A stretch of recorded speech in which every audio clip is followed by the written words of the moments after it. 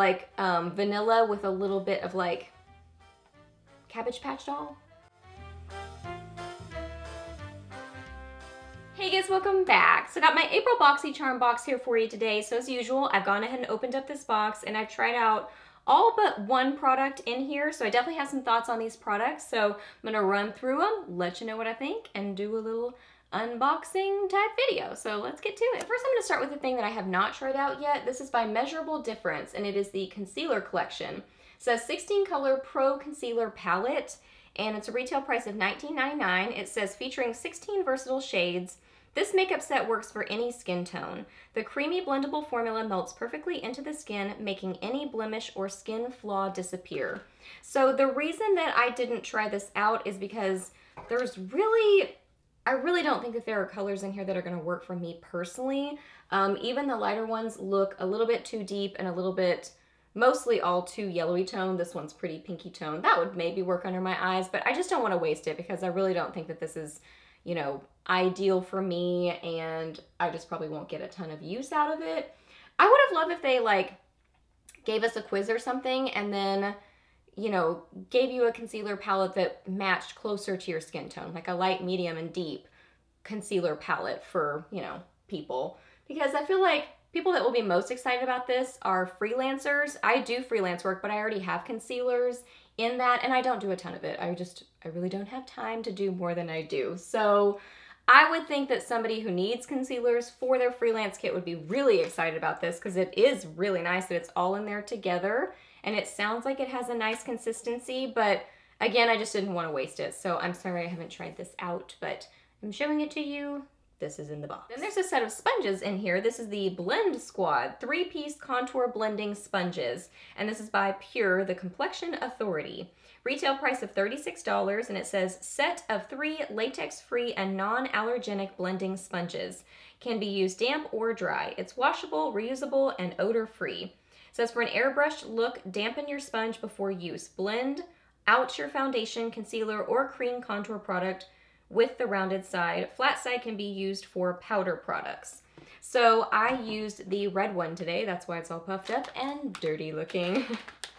so I first, this is what they look like, you know, when they're dry. So I first started trying this out dry and it was just really tough, like just very rubbery and I didn't feel like I was really getting a good application, but then I dampened it and it really like puffed up a lot.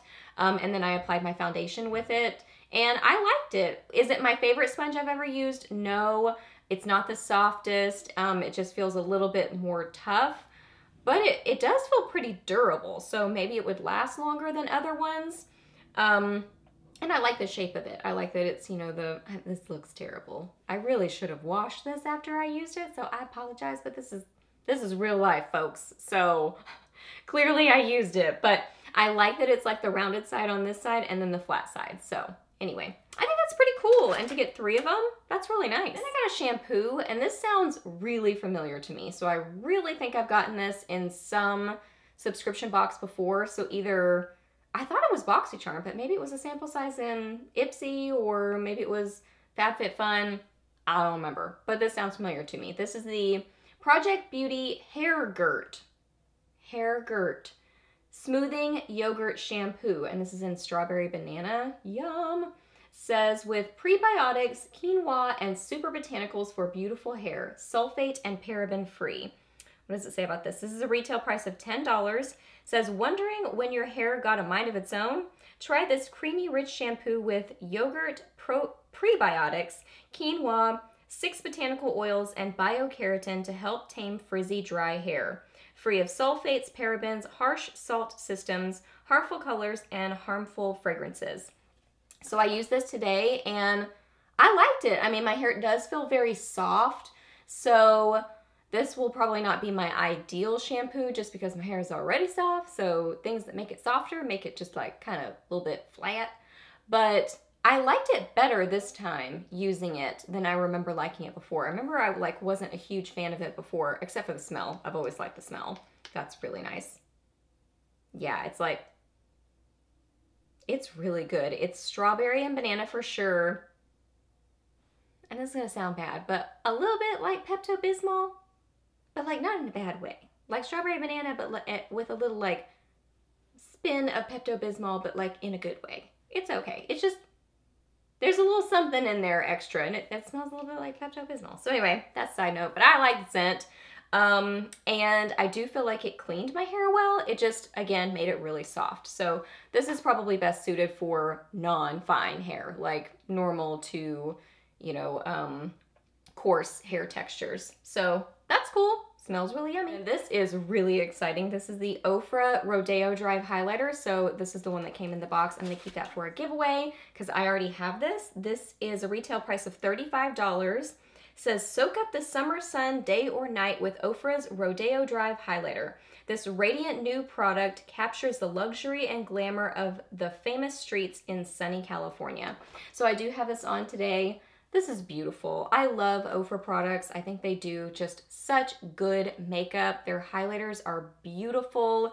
Their liquid lipsticks are beautiful. They just have good makeup. Now this one, um, when I first got this, I wondered how this would work for me because it looks more kind of like golden and deeper, but it still works. I mean, it definitely has more of like that golden, you know, deeper golden sort of a color. You can see it on my cheeks. You can see it on my hand there.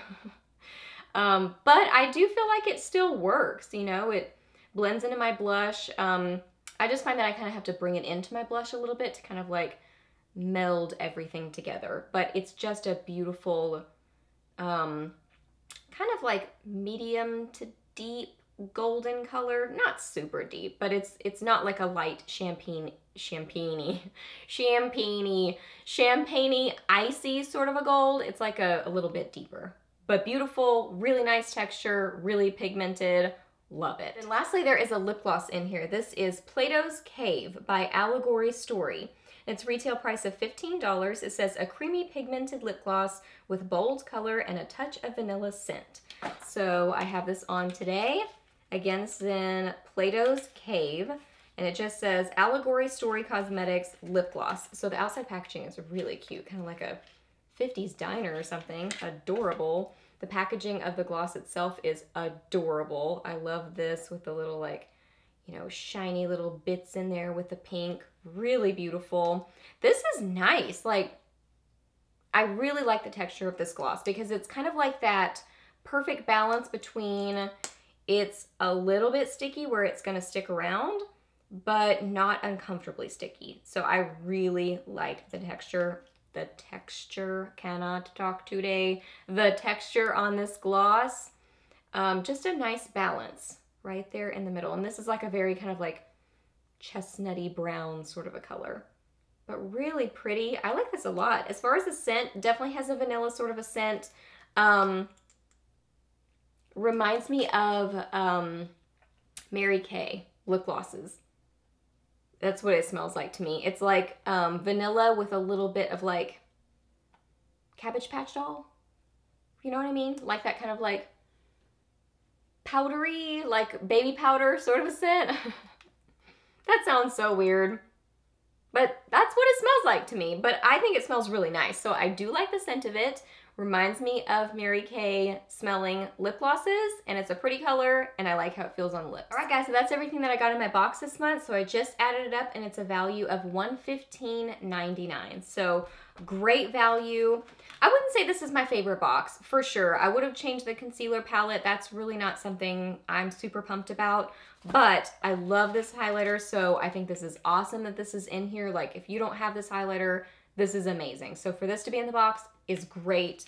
Love this gloss. I think it's so nice, really nice formula.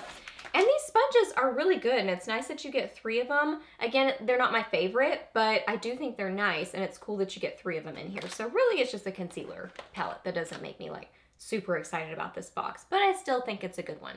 So if you want to sign up for BoxyCharm, I will leave my link down below. No pressure whatsoever to use my link, but if you do, thank you so much. If you got BoxyCharm, I would love to know what you think about it. What was your favorite thing you got in here? What are your thoughts? Ask me any questions that you have. I'm happy to answer those. Please subscribe to my channel if you're not already, and I'll see you in the next video. Bye.